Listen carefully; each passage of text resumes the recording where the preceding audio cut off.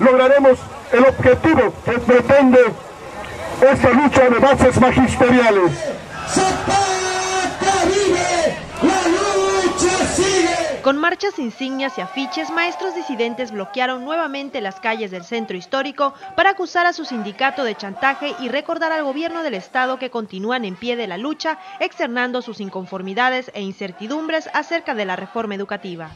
Integrantes del movimiento Base Magisterial Democrática de Campeche fueron convocados a las 9 de la mañana para reunirse en el parque del cuarto centenario para luego iniciar con más de una hora y media de retraso un recorrido por el circuito Baluartes, mercado principal Pedro Sainz de Baranda, para finalmente llegar a la Plaza de la República.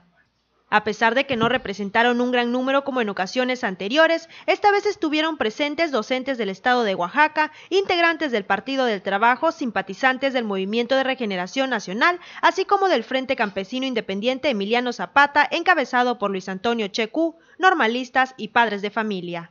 Docentes aclararon que su movimiento no se extingue, sino que más bien existe una represión por parte del Sindicato Nacional para los Trabajadores de la Educación, al cual acusaron de chantaje.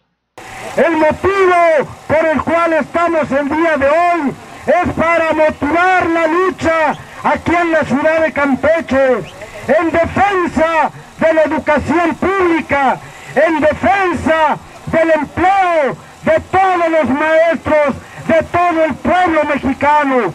Ya estamos cansados que nos traigan de rodillas, ya estamos cansados que nuestros derechos sean dejados. Algunos maestros reconocieron que han recibido oficios con notificaciones de descuentos por los días que faltaron a las aulas, sin embargo aseguraron que esto no los detendrá.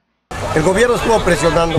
Muchas escuelas están siendo visitadas hasta ahorita por las autoridades educativas y el señor Mario Rodríguez no tiene tiempo para dialogar con nosotros, pero sí tiene tiempo para estar visitando, presionando acá a todos los maestros que desafortunadamente le dieron su cambio o, alguna situación que les dieron. Todos iremos a la o los, sección, por favor, nos vamos los ingresaron al Estado por medio de... A los maestros, Entonces, es, los padres de familia, también les esto es lo que es nuestra sección para estaba que dejando. cómo estamos.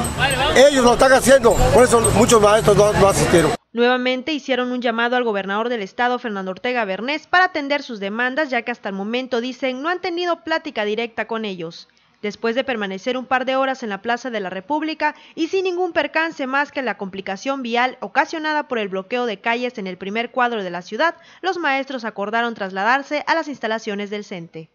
Para tiemposnoticias.com, Tere Cosgaya.